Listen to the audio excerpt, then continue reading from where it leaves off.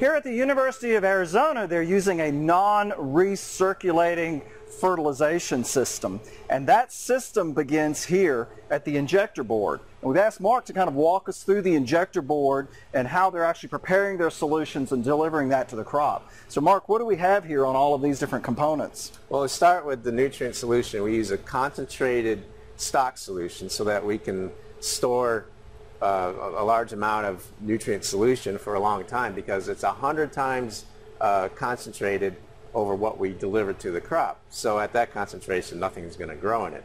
Um, we have two tanks because our nutrient solution has a calcium component and that calcium at this concentration will react with the sulfates and the phosphates and create uh, precipitation and we don't want that. It'll so fall we, out of solution. It'll fall out of solution. And uh, so we separate those components into separate tanks. So And that that's they- that's this proverbial like tank A Tank and A, tank, tank B people hear about. right. Okay. Yeah. So these are your two different fertilizer concentrate tanks. That's correct. Okay. And then to deliver those to the crop at a final dilution that we, we want, we use uh, fertilizer injectors.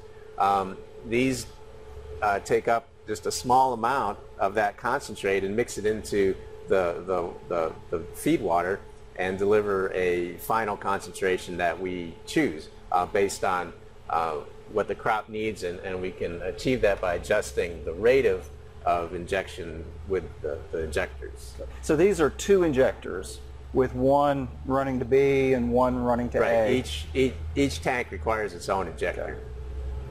And um, so we're we're injecting the solution and it's moving downstream and we we send it to a mixing bowl so that uh, that tiny little shot of, of high concentrated nutrient solution has a chance to to diffuse into the the, the, the final concentration. We don't want to deliver tiny little Little high shots of A and shots of B and Yeah, right. so this is real this is your mixing bowl This and that's just bowl. a turbulent It's just a, a, a big volume that uh, our, our nutrient can mix together with before it gets sent down the line. And we have a third injector here, which is for our acid tank. Uh, we have a fair amount of alkalinity in our water, so we need to, to moderate the pH uh, using acid. We use sulfuric acid, a commonly used acidifying agent, and we have a separate injector for that, so we can adjust the rate of the acid injection depending on how um, the pH is responding in, in the water. So you, you're bringing in your water, you're injecting A, you're injecting B, you're mixing acid, and then is this another mixing That's bowl? another mixing bowl just so the acid has a chance to mix with uh, those nutrient components. Again, just so we have a nice uniform dilution going out to the crop. Okay. Well, help me out because if a lot of folks are like I am, all of this gets a little bit confusing even after someone explains it to you. There's a lot of plumbing It's here, a yeah. lot of plumbing. So let's trace uh, your water. When your water comes in, let's trace sort of its path from coming in all the way through the system and what would be going to the crop. So we're bringing our feed water in here, which is just tap water. It's potable water that we use at the greenhouse. And we filter that initially so that if there's any particulates in that feed water, we can get those out of the system. Um, we move it on down to the first injector. And again, these are water driven, so the, the flow of the water will drive the piston in here and will inject the nutrient solution. Basically, the injector is just more or less a, like a syringe, and it just takes up a little bit and pushes it into the water stream, goes to the next injector, which takes um, the next solution and, and injects that, and then it gets mixed here. And people have to be careful because there's a flow direction. Yeah, if you put it in backwards, it's not going to you'll, you'll right. always have error, so be careful. Yeah, a lot of this plumbing is directional. That's, yeah. that's, that's directional, yes. So then we'll, we'll get to the mixing bowl, and then and then we'll inject our acid.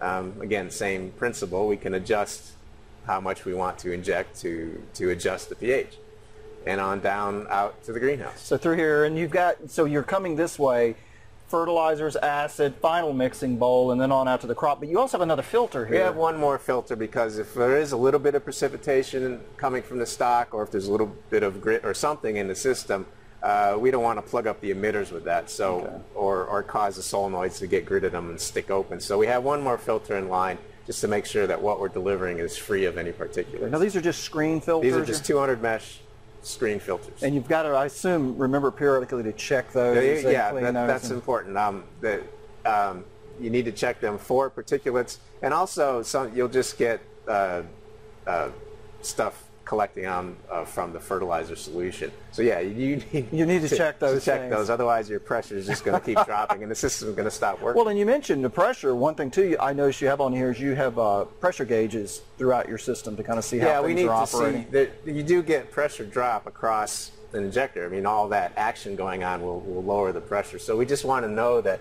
we've got a functional pressure um, being delivered to the crop because we do use pressure compensated emitters. And so if, if that falls below that, that PSI requirement, it's just not going to work. doesn't So- work well.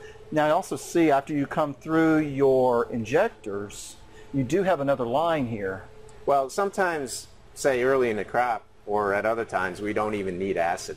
Um, and so we can just bypass the acid altogether and um, deliver just the, the nutrient stock to the crop. Um, one advantage of that is we, we eliminate that pressure reduction that's coming off of, of this additional injector. So. So you can bring it through, add your add your different stocks at the concentrations you want, adjust pH, or bypass the pH adjustment, and basically have the two lines here that are the lines that go on out Heading to the on crop. out to the crop. And that's actually what our next video is going to focus on. We'll be following the fertilizer solution once it's prepared, following it out to the crop and to the plants.